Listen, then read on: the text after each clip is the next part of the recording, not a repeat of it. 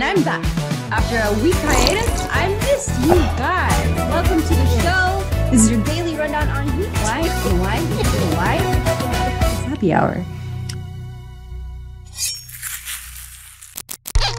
Oh, nerds! Welcome to Geek Beast, part of the Geekish Network. This is your daily rundown of geek news for geeks like you and geeks like me. Yo, we get to some news. Yeah, yeah, let's do it. Let's All do right. it. Let's do it. Let's do it.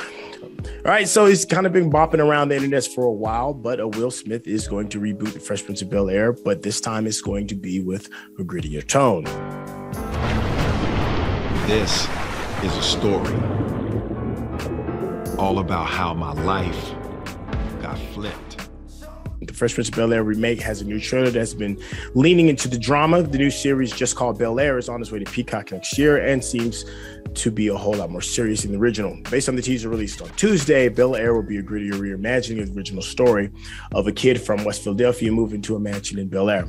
So the newest teaser even features a slowed down dramatic monologue of the iconic theme song lyrics. Have you um now I do remember when this first hit the scene when it was just a fan film and people like lost It their was, it was a fan trailer. Yeah, yeah. Right. And as a result of that, like this project, th- they had a real big significant push. It got Will got a hold of it and saw all the hubbub about it. And you know, he breathed life into this bad boy. You know what I gotta say to that though? Go ahead. What's I'm gonna that, let though? you. I'm gonna let you finish. I'm gonna let you finish. no, no, I'm just wondering. I'm like, yo, it. like a, don't grittier. a- I was just Don't about to say, it. do we really want a grittier Bel. Air? I don't want it. I don't want it at all. They just gave me one of the best sitcom TV shows in the history of sitcom TV shows. Yeah. Yes, I'm looking at people that like Friends. I don't get it. I don't get it. The Fresh Prince is an amazing sitcom TV show. And you're gonna give me a gritty version of it? Do I need that? Do I really need Yeah. that? That's like giving me a gritty version that parents just don't understand.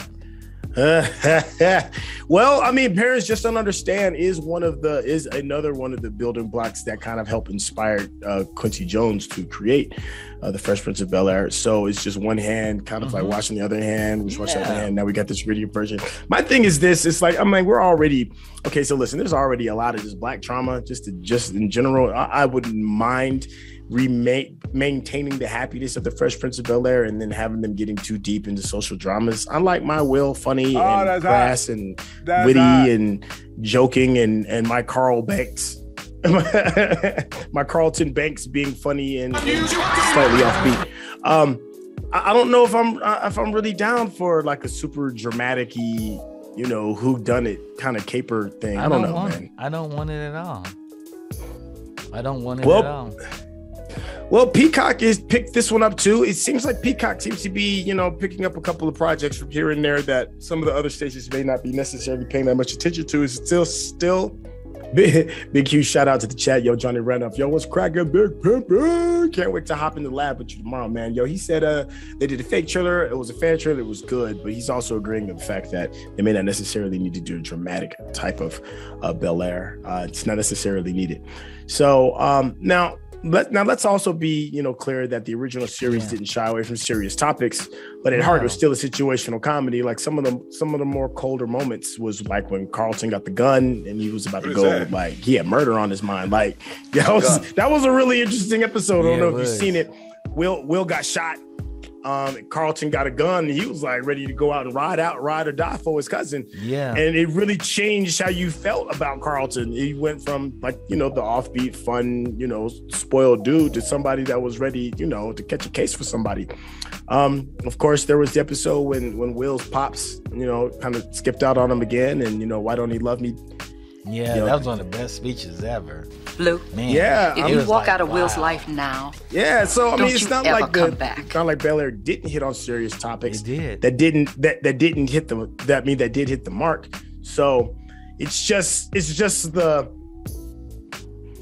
it's just the knowing that we're never going to have like the whole bouncy fun Bel Air kind of part of it Yeah. anymore. Like, do And I want to see a teenager who moved from a poor place to a rich place not fit in and be dramatic and everything? I mean, you basically turn this and it's like taking Archie comics and give me Riverdale. Uh, yeah. See, and you saw what they did to Archie. Like Mhm. Riverdale is far from your old school grandma and grandpa's Yeah. 1950s Archie comics. It ain't that. Not Yeah. not by a long shot. Um, I don't want, I definitely don't want Bel Air to have that same tone as like Riverdale, but who knows? I mean, I mean, they can go there. They can go there if they want to and put fantasy in it. You know, we call that we call that Atlanta. Yo, but yo, but my man Will dropped a banger over the weekend. He did the story about the uh, Venus and Serena Mhm. uh, and their rise and and what it was like for them to be uh, young women learning learning the game of tennis called King Richard. I actually saw it over the weekend. It was it was pretty good. I, I can't lie, it was pretty good. He definitely was good enough to make me, you know, maintain my stock in Will Smith regarding some of the choices that he takes in and and, and bringing projects to us. Did you see it? No, haven't I think you yet. might just have the next Michael watch. Jordan. I I was gonna say it this weekend. I Oh, no, like, brother, ah, man. I'm not gonna I watch this me the next I'll watch two. it next weekend. And so, yeah, I'm excited about it. I heard really good things. I heard the mother kills it. I heard she kills every scene. When she speaks, everybody leans in. Yeah, yeah, and they definitely give her some room to breathe too, because you would think it is it is a story about the father primarily, hmm um, but but obviously you know he he there, there's no way you can make champions on your own, and his wife was a pivotal uh, Yeah. part of that process, and she gets her moments to shine. and Serena. They say in real life she was like 50 world. percent. It was like 50 50 of them making these girls badass tennis players. Shoot, I would probably even say it was probably even more than that because you know here's the thing, like like for every for every Joe Jackson, you know, Mama Jackson was out there too. Probably like I know she couldn't keep him off the boys all the time, but I'm sure she played a big enough part so that the, the train didn't go completely off the cliff. You know what I'm Mhm. saying? You know, um, there's there's usually when there's a really strong, powerful man in the in the house, the, the mama has to be there to kind of curtail some of that. You know, it's, a, it's a it's a one two punch. So I'm glad that they did a good job of like you know, Okay. focusing on.